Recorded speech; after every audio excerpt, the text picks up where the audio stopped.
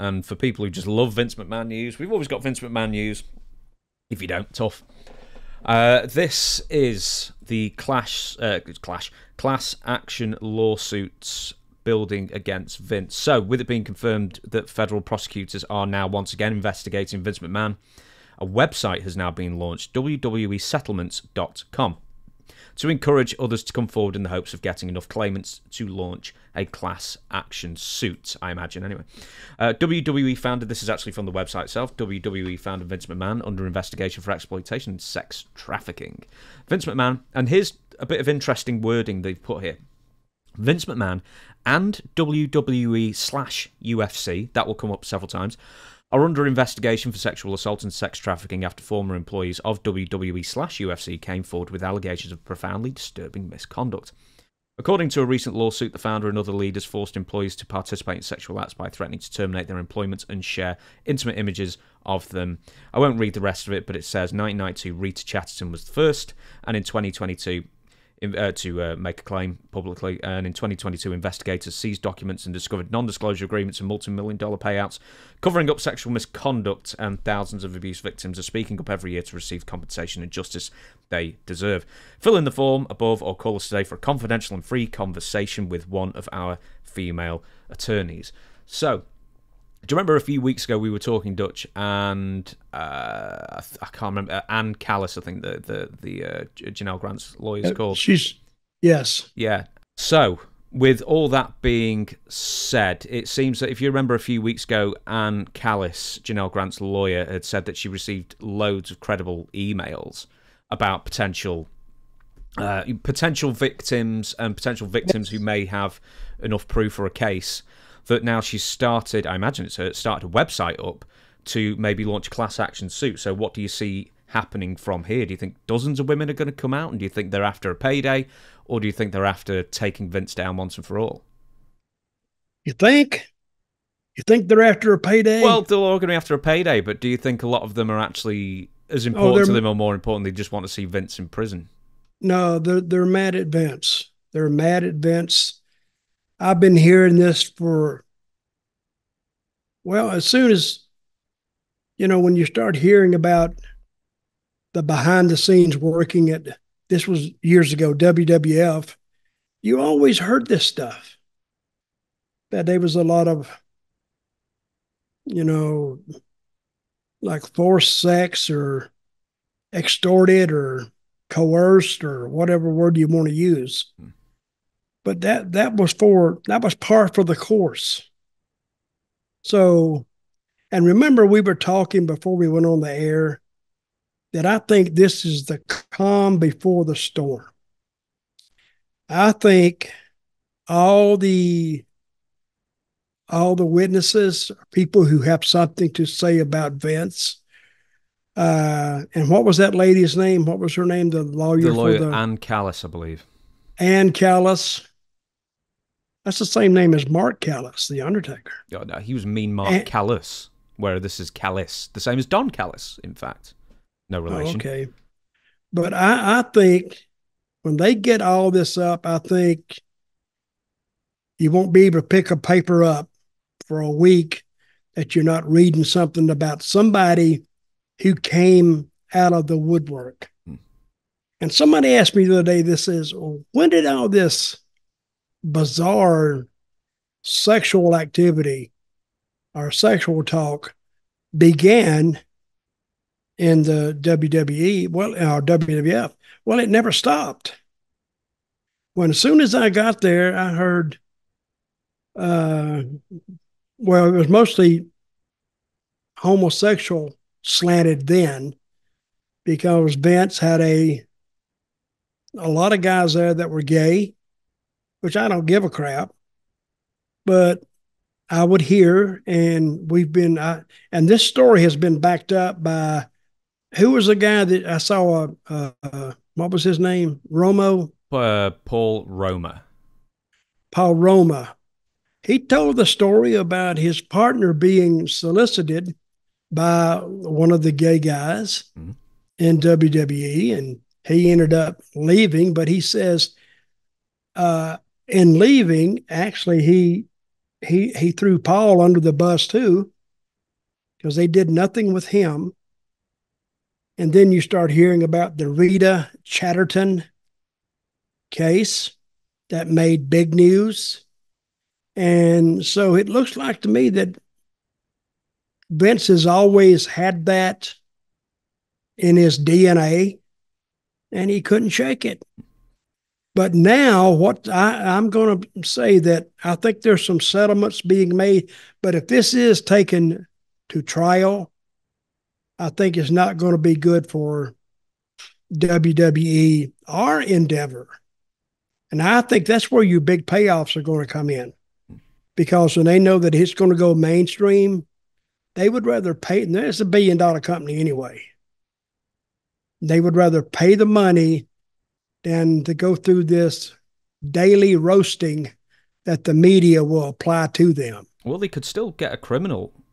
You know, they could they still can. get criminal charges as well. So they may end up paying a huge amount and then get criminal yeah, charges levied well, against them anyway. This could turn into a what was it, Harvey Weinstein? Yep. Weinstein. Weinstein. Yeah. It, it could turn into that, and he ended up going to jail. But now, when you have the FBI showing up at Titan Towers and saying, We'd like to talk to so and so and so and so, of course, you just wouldn't hear about that on the day they showed up. They would know about it a couple of days before. I think panic would run through that building because people they have they may not have had anything to do with Vince and his proclivities. Let me say that. And but they damn sure don't want to be brought into it. So they're going to be saying all they know, and they damn sure don't want to lie for Vince when they had nothing, and all they had was a job. It may have been a pretty good job, but if they catch you lying to the FBI, you know that's that's not that's not good news you could go to jail for that, I guess. You could you you could be punished for it. But I think this is the calm before the storm. And I think in about four to six weeks, I think the lawyers will have it under under a, a pretty good idea of what they're going to do. And then it'd be a great time to be a lawyer in Stamford right now mm-hmm. because you, it's not going to be a lack of activity because and I wonder what they're saying on the street in Stamford about that building that sits over there. You know, most people in Stamford, they just see the building. They don't know what goes on inside of it. And they've often wondered, I wonder what goes on behind that door. And then they hear all this stuff and this, that, and the other. I guess it's taken on a little bit of a folklore status in Stamford. I don't know but I don't think this is the last we're going to hear of it. I think it's going to last longer than we think and take longer to go away, especially with illegal activity. Because you mentioned Paul Roma, we're gonna uh, we're gonna come back on some other stuff that we're gonna uh, uh, talk about, but we'll go straight to Paul Roma here. So uh, he was on NewsNation's uh, well YouTube channel and show with Ashley Banfield, who's really been the lead sort of media personality to sort of take on this case and interview a lot of people, you know, who are willing to talk about it, quite frankly. So, um, Roma talked about, um, and he mentioned that he knows of wrestlers who left WWF due to being asked for sexual favors. So, this is not so much Vince McMahon, but this is the people he surrounded himself with. So, uh, there's a lot of quotes here. I'll try and rush through them if I can. Uh, Roma said it wasn't so much Vince as it was the people that he had surrounding him. You're talking about an industry where you have young, good looking, well built men in the ring, half naked, three quarters naked, actually. So, yeah, I mean, it left a door open. Vice presidents and bookers that were very much into that, and they put you in a really, really bad situation, especially once you started making some money. You kind of get comfortable with that, and then you find out that your job's on the line. Either you do it or you get fired. And I witnessed quite, yep, quite a few that walked away. The money wasn't worth it for them to go that route, so to speak. So, when Roma was asked to clarify what the wrestlers were asked to do, he responded they were asked to do sexual things with other men that they did not want to. My former partner being one of them. I was actually in now he's talking about now he's talking about the male participants now, in WWE. Yeah. So, um, I don't. I'm not sure he's talking about Jim Powers here. Uh, He may be talking about someone else. But uh, I was actually in a cab ride in Washington. We were coming back, and a gentleman next to me kept saying, "It's not worth it. It's not worth the Benjamins. It's not worth the Benjamins." And I was like, "What are you talking about?" And he's like, "It's just not worth it." We got back to our hotel room. The next day, we were filming for our second TV taping, and he was gone. He jumped on a flight and went back home and never showed up again to wrestle. And he had an unfortunate accident and hit his head and passed away while he was asleep. He had a bleed on the brain. Now, Roman. Who, now, who was this? Can you name the guy? I don't know. I'm trying to think who fell and hit their head and had a bleed on the brain and died. I mean, the only other tag team partner I know that Paul Roma had in WWF was Hercules. But did is that how Hercules passed away? I don't know. So anyway, Roma continued. Jim Powers was uh, propositioned. So this is something that Jim's talked about as well, as you well know. He said he went to one of the agents and told them what had happened, and I said, "Why would you do that? You just ratted on both of us." So he kind of threw us both under the bus. He being Jim Powers and Paul Roma, when we were just starting out. When asked, asked to clarify if it was executives within the company who were propositioning these wrestlers, Roma responded, Let's leave it this way. That's all it could be. If somebody is going to give you money, then it has to be that. There is nothing else. It's not going to be one of the other boys that you're wrestling with. They're not going to offer you money. Even my former partner, same thing. They offered him money. Cheap wrestlers Yes. and not going to offer you any money. No, the wrestlers won't offer you anything. Uh, they offered him money, drugs. And here's a quote just lay on your back. You don't have to do a thing. And he came running right to me when I came into TV and I said, dude, what are you going to do? And he said, oh, I've already spoke to Arnold. Uh, I believe Arnold Skaaland at the time. Yeah, Ar- Arnold Skaaland, Yeah. yes. And I said, well, why did you do that? You just killed our team. What do you think he's going to do? He's just going to to, uh, to the people that propositioned you. Um, there's one more thing I want to add. I'm um, sorry for all this reading, uh, but when asked about a story that Mario Mancini had said, he was also a recent guest on NewsNation, and he mentioned that there was a story that was even worse than anything in the Janelle Grant lawsuits. Roma confirmed he knows the story and speculated the victim may not want to open Pandora's box by coming out with allegations now.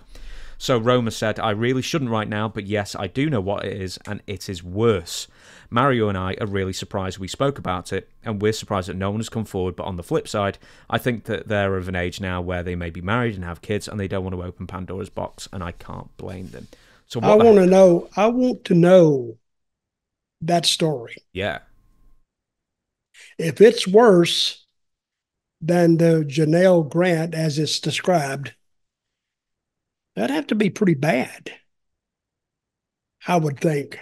I'm struggling to figure out what it could possibly be that's worse beyond what's in the lawsuit, beyond just Vince straight up just you know killing someone or like imprisoning them or something.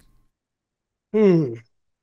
Yeah, that was a that was a pretty good little hint there. So I want to I want to know what that is Yeah. to judge for myself.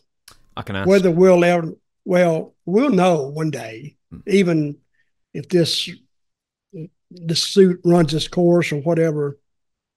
Eventually, one day I'll just pick up the phone and I'll call him and say, "Hey, I need to know," just so I can put it on my podcast. Yeah, I was just like, yeah, pretend I don't have a popular podcast and just tell me everything you know.